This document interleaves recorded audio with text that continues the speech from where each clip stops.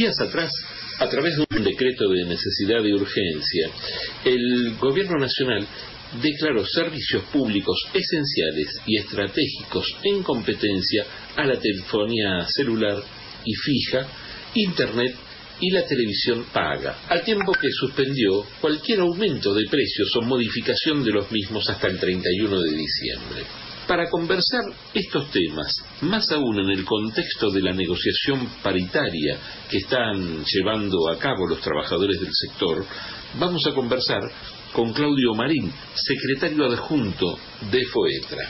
¿Cómo estás, Claudio? Eh, ¿Qué tal? ¿Cómo te va, Hugo? ¿Cómo estás? Gracias por la nota. Al contrario.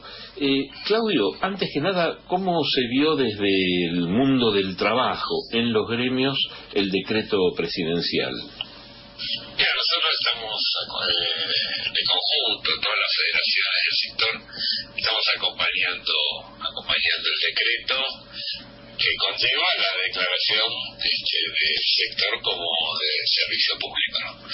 Así que acompañamos, eh, acompañamos y hemos sacado a solicitar una página, página 12, donde decimos que bueno, que, que está muy bien, pero que necesitaríamos algo que entre otras cosas este, sea una ley integral de que, que, que integre telecomunicaciones este, y transmisión de imagen y transmisión de datos ¿no?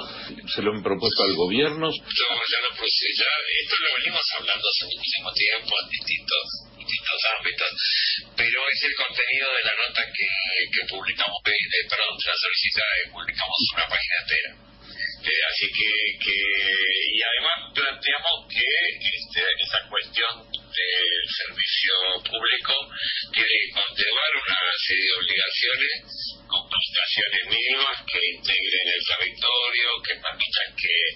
tanto este, las escuelas como los hospitales tengan este, eh, conectividad efectiva forma gratuita. Y cuando digo efectiva, digo efectiva, ¿no? O sea, una cantidad de megas que vos te sirva como para realmente conectarte, ¿no? No digo formal, sino realmente sirva, sirva un servicio que te exige cada vez más, además, ¿no? Pues sabes, tenés que transmitir más información. ¿Cómo les cambia algo a los trabajadores que exista o no este decreto? Mira, uno podría decir que, son como vos quieras, este, lo quieras interpretar o desde qué ángulo lo quieras abordar. Eh, si hay un servicio que tiene carácter público y que tiene que servir al conjunto del territorio, en las zonas más favorables y en las zonas más desfavorables, esto podría pensarse que genera fuente de trabajo, ¿no? Y que garantiza una cantidad tope y piso y bueno.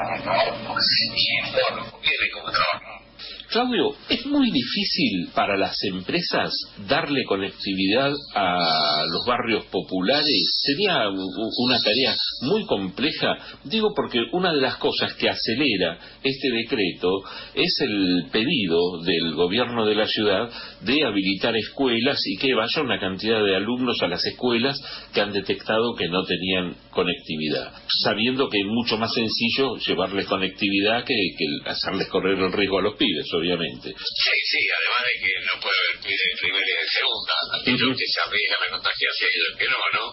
Claro. Este, eh, claro, si no, eh, a ver, acá hay capacidad para dar conectividad, existe capacidad por parte de las compañías. La diferencia con el decreto es que ahora tienen que decir, bueno, ese va a ser mi plan anual de inversiones. Este va a ser mi plan anual de eh, servicios y este esto esto es lo que yo busco ganar. Necesito tarifas con esta con, con esta condición o de esta de esta magnitud. Uh -huh. bueno si eso se aprueba este, por parte de la autoridad de aplicación eh, van a tener eh, que cumplirlo. Esa es la diferencia con su servicio público o sea no, no es una discusión de toma y daca, es una discusión que se hace de una vez para todo un periodo y las empresas tienen que alcanzar esos objetivos. Bueno, de hecho, en la telefonía fija se le venían poniendo objetivos y tenían que cumplirlos, ¿no? O sea, tanta cantidad de telefonía pública, este, tanta cantidad de, tiempo en instalar una línea, tanta cantidad de tiempo en repararla. No es, no es novedoso esto. Pero además aquí las características, cuando vos tenés un servicio que cubre eh, 60 millones de terminales, como están cubriendo hoy este, todo esto que nombramos, este, y si vos lo comparás con agua, luz, gas, este, son 9 millones, 10 millones de terminales, bueno, te das cuenta de que la importancia de que esto sea un servicio de carácter eh, público regulado por una cantidad de, de pautas. Este, ahora, por fuera de eso, no, no hay por qué no hay por qué este, eh, volverse loco, ¿no? Claro. Me parece que no, no, no, es una cuestión de, de, que las empresas tengan que ser enemigas de esto, sino de, bueno, someter un poco sus cuentas al interés este, general, es eso. Desde algunos sectores eh, salieron a, arriesgadamente, ¿no? A decir intervención, confiscación, a, a, a decir, hacer digamos, algunos análisis un poco este, exagerados.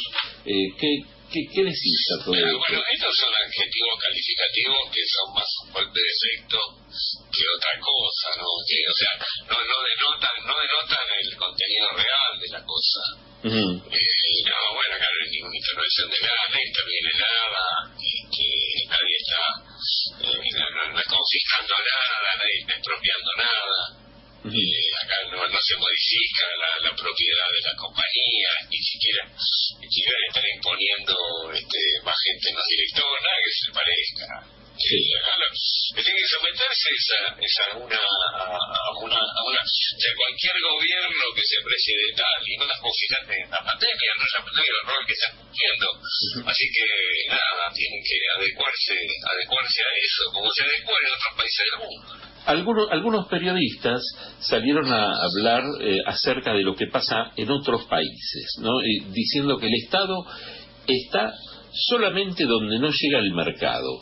¿Nos podés hacer una descripción qué pasa en otro en otros países? Eh, el Estado tiene no no es injerencia, pero sí alguna eh, participación en los precios, ¿no?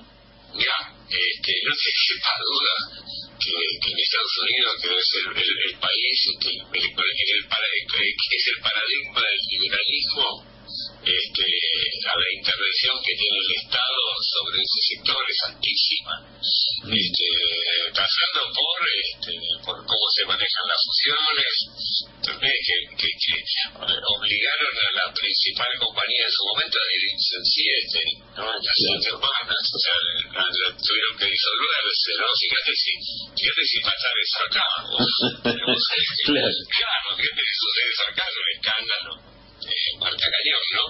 Pero eh, por fuera de eso, no te quepa duda que en todos los países del mundo el Estado interviene sobre las condiciones en que se brinda un servicio de tamaña magnitud, de, de, de, distintas maneras, ¿eh? de distintas formas. La verdad es que si diría que son todas, todas no pasa de determinada forma, se estaría mintiendo.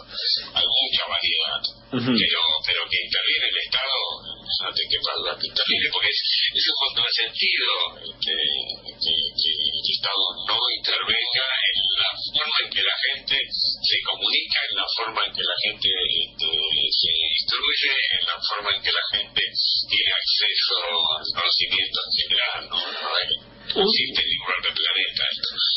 Uno, uno de los argumentos de las empresas es que no va a haber inversión y va a redundar en el servicio. Eh, no, no hay inversión suficiente, no hay inversión porque no les alcanza la plata y necesitan ajustar las tarifas. ¿Cómo, cómo es eso? Mira, las compañías han repartido, han venido repartiendo dividendos y lo que vos, vos quieres, lo que vos repartís en dividendos, podés no repartirlo en dividendos y podés usarlo para invertir. Por supuesto, por supuesto. Pero bueno, entonces, dividendos repartieron todas muchísimos, este, muchísimo dividendo.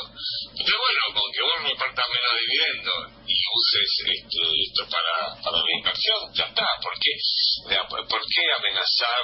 También amenazaron con que las fuentes de trabajo, una cosa que no traía de los pelos, porque si no me dijera que son, son compañías que están en crisis, que no venden, que van para atrás, digamos, que tienen cada vez menos, este, menos, menos este, clientes, que, pero esto es una que a minuto a minuto expandiéndose en cantidad extraordinaria, pero también en cantidad este, y, en, calidad de servicio, porque, porque bueno, cada uno de nosotros seguramente tuvo que ampliar la cantidad de datos que recibía por el trabajo que está haciendo en forma remota, ¿no? Claro. Por el teletrabajo, así que imagínate, eso también se paga, no es que eso es gratis. A los trabajadores, la última, a los trabajadores de alguna manera les afecta en la negociación paritaria que están llevando adelante en este momento? No, una cosa es la paritaria, otra cosa es este decreto, no, no tiene nada que ver esto. O sea, de hecho, además, venían regulando tarifas hacía ya este, un tiempo largo, ¿no? Todas las tarifas venían con regulación.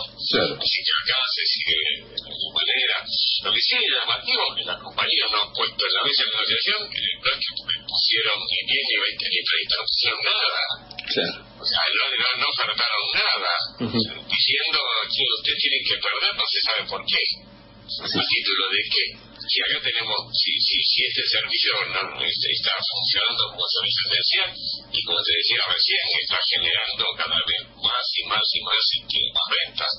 Así que la verdad que, nada, tiene que ponerse en línea y, por lo menos este, poner sobre la mesa lo que se va perdiendo mes a mes con la inflación. Claudio Marín, muchísimas gracias por la nota. muchas gracias a vos y a tus Gracias. Hablábamos con Claudio Marín, secretario adjunto de FOETRA, el gremio que nuclea a los trabajadores de las telecomunicaciones. Seguimos con el programa.